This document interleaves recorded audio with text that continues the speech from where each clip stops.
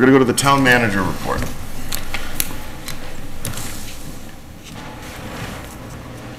Great. I'll start with the board and committee commission vacancies. There is one vacancy on the Architectural Preservation District Commission, one vacancy until the next annual town election for the Cemetery Commission, one vacancy on the Council on Aging, two associate vacancies for the Green Communities Committee, one member at large vacancy on the Open Space Committee, and one vacancy on the Personnel Committee. Anyone interested in any of these positions can find the volunteer application form on the website, complete it, and return it to the Select Board's office. And if you have any questions on the roles and responsibilities, you can contact our office at 978-582-4130, extension 144.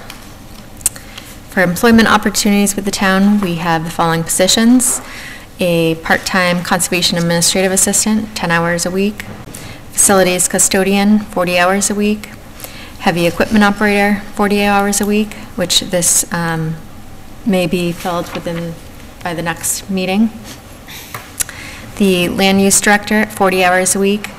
Planning board administrative assistant, 36 hours a week, and a temporary administrative assessing assistant, 32 hours a week. And more information on these positions can be found on the town website as well, under job opportunities. Just an update on the planning board administrative assistant position. We have hired Josie Gilchrist as a temporary person for that office to be a point of contact um, until that position is Which commission? for planning board administrative assistant. So she'll be in that office um, from 9:15 to 12:15, Monday through Thursday. And um, second Tuesday a month, it will be 10:15 to 1:15. So um, she- uh, the planning board chair knows, and the uh, building commissioner, who's been very helpful in keeping everyone in the loop in that building, and Richard Harris, the interim. planning director, Editorial so. comment, she's all over the place. Where does she get, where does she get her energy? I love it. She, Yep. she she No. commits like 48 hours a day. I don't know, I don't know how that works. Yeah. So, And she started right away. We met with her last week, and she was able to start today. So uh, Annie uh, has been helping out and getting her caught up to speed as well, so she spent time with her today, and she, um, the planning board chair was there as well, so it's, a- I think, a great fit for uh, the time being. So thank you, Josie. Update on 925 Mass Ave. I had a meeting today with Mass Development and their consultant from BSC hmm. Group that will be handling the development of the conceptual plans, market analysis, and the development of the request for proposals for disposing of 925 Mass Ave.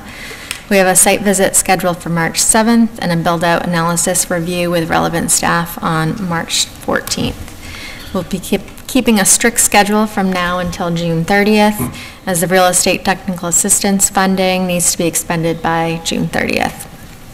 As part of the process, we'll be engaging with stakeholders, and information will be presented to the select board to receive input. Update on bids RF and RFPs. The request for proposals for data collection services for the assessing department has been sent to the assessors for input, and then it will be put out to bid after that. The uh, RFQ for the owner's project manager services for Marshall Park will be advertised and bids, um, maybe Mrs. Lockwood left, um, left that blank. Those will, I'll report back on the due date on that. It should be approximately four weeks out. The invitation for bids for a Flat Hill Culvert project were advertised on February 27th, and the bids will be due March 27th, and the bids for the road materials are due February 21st. The electricity supply contract was signed for 48 months at 11.77 cents per kilowatt, and so this is um, going to be going into effect in November of '24, 2024, and um, this will be at the expiration of our municipal aggregation contract that we have currently. So it's a lesser. Increase or drop? Decrease. So it's, our current rate is 11.868. So That was good news to lock in for that extended period of time, because electricity costs seem to keep increasing, so. That's all I have for tonight. All right.